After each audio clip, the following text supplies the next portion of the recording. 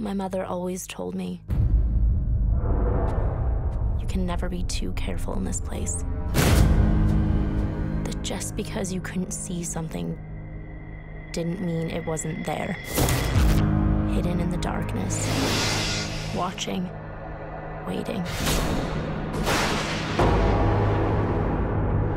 There's something out there. Something that won't stay hidden forever. One day soon, she'd say, we'll run out of time. I never knew exactly what she meant. And now I'm afraid.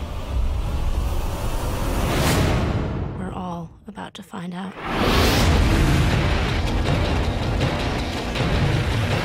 No, no, no!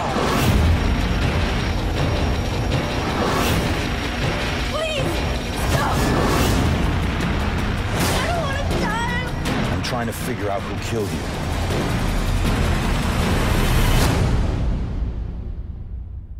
Be careful out there. You never know what's waiting around the corner.